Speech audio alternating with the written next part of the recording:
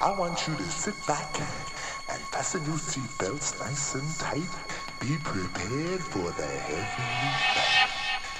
Minus 10,